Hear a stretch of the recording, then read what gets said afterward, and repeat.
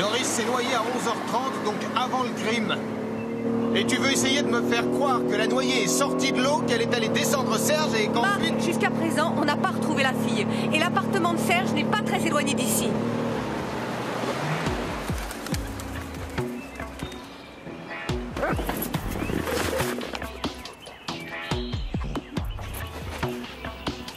Allez Rex